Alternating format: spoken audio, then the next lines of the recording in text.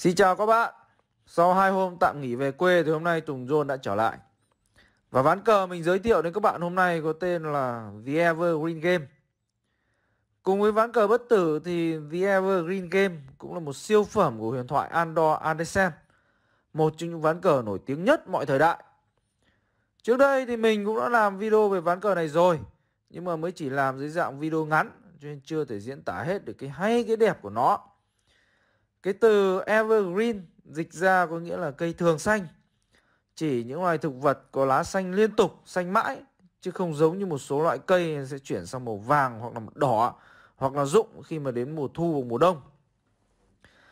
Liên hệ với ván cờ được đặt tên là Evergreen Game thì theo ý hiểu của mình có lẽ ý nghĩa của nó là ván cờ này sẽ xanh mãi, bất diệt, bất tử. Do đó thì có thể hiểu ván cờ này có nghĩa là ván cờ vĩnh cửu hay ván cờ bất diệt. Đây là ván cờ diễn ra tại Berlin vào năm 1852. Cầm quân trắng là Andor Andersen, còn cầm quân đen là một học trò của ông, tên là Jean Dufresne. Ông Jean Dufresne này thì sau cũng là một kỳ thủ khá mạnh, một giáo viên dạy cờ và còn là tác giả soạn ra nhiều thế cờ nữa. Rồi, chúng ta bắt đầu ván cờ nào. Ở ván này thì Andor Andersen được cầm quân trắng đi trước. Ông mở màn với nước tốt E4. Du Fresne đáp trả bằng nước tốt E5. Tiếp theo, trắng đi mã F3, đen đi mã C6. Trắng đi tượng C4, hình thành khai cuộc Italy. Đen đi tượng C5. Trắng đẩy tốt B4 tấn công tượng đen và thí tốt. Đây chính là biến Ivan Gambit nổi tiếng trong khai cuộc Italy. Tượng đen ăn tốt trắng biến Ivan Gambit chấp nhận.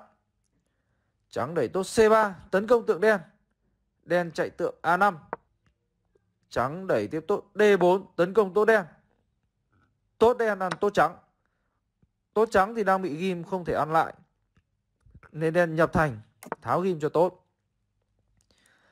Nếu tốt đen ăn tiếp tốt trắng, thì trắng đi hậu B3 kết hợp với tượng tấn công tốt F7. Đen nhảy mã H6 thì tượng trắng ăn mã đen. Tốt đen ăn tượng trắng thì tượng trắng ăn tốt đen chiếu. Đen chạy vua F8 thì trắng lùi tượng về D5. Sau đó mã trắng sẽ ăn lại tốt đen. Đen vừa mất nhập thành, vừa bị tốt chồng. Vua thì hở toang toác. Lợi thế sẽ thuộc về trắng.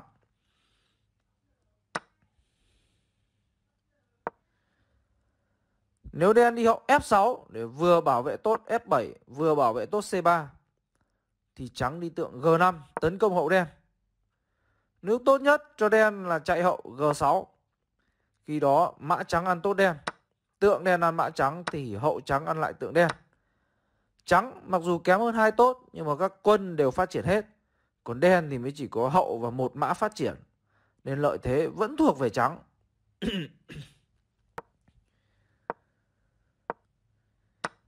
Trở lại ván cờ thực tế. Đen không ăn tốt trắng mà đẩy tiếp tốt xuống D3. Trắng không ăn tốt đen mà đi hậu B3 kết hợp với tượng tấn công tốt F7. Đen đi hậu F6 bảo vệ tốt. Trắng đẩy tốt E5 tấn công hậu đen và thí tốt. Nếu đen ham hố lấy mã ăn tốt trắng thì trắng sẽ bình xe E1 ghim và bắt chết mã đen. Đen đẩy tốt D6 bảo vệ mã thì trắng đi hậu B5 chiếu bắt tượng.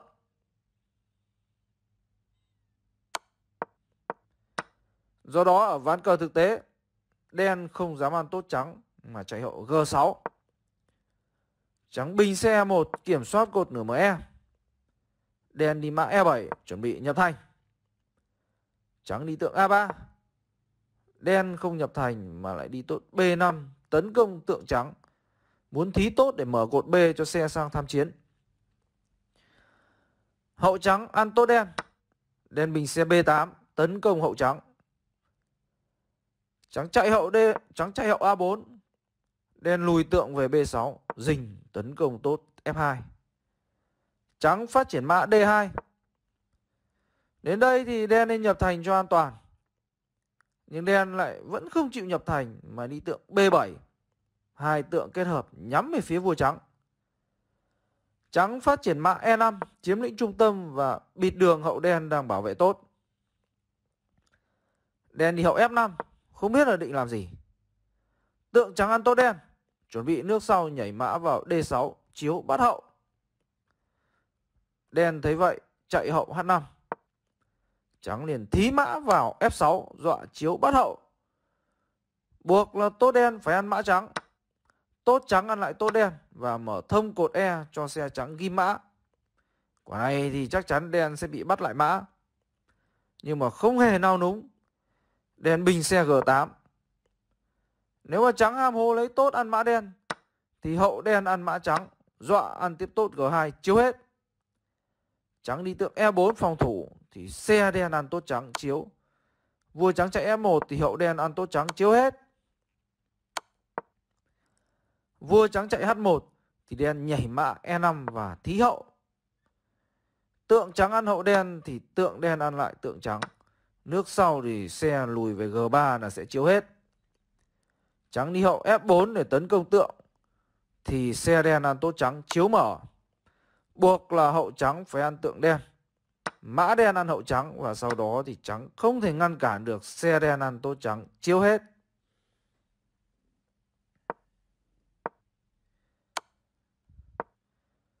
Trở lại ván cờ thực tế, Trắng không ăn mã đen mà bình xe D1 Hai xe kiểm soát cột trung tâm.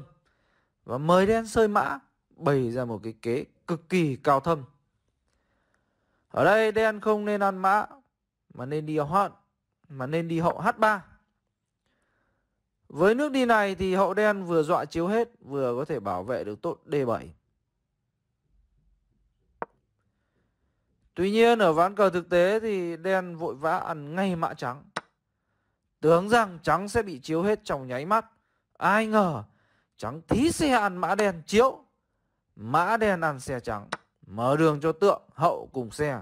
Tấn công tốt trắng G2. Đen nghĩ quả này thì toang rồi thầy ơi. Còn gì nữa đâu mà khóc. Còn gì nữa đâu mà khóc với sầu. Ai ngờ trắng thí hậu ăn tốt đen chiếu. What?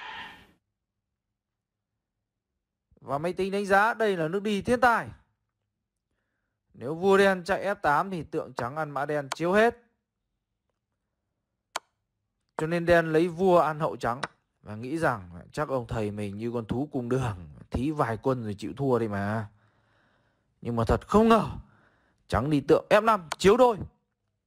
Đen chỉ có thể chạy vua C6 hoặc là E8. Nếu đen chạy vua C6 thì tượng trắng D7 chiếu hết.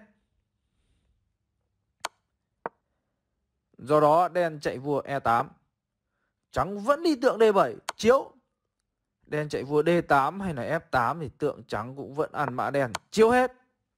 Đúng là đẳng cấp của thầy thì vẫn hơn trò một bậc. Giờ thì không biết ai mới khóc với sầu đây.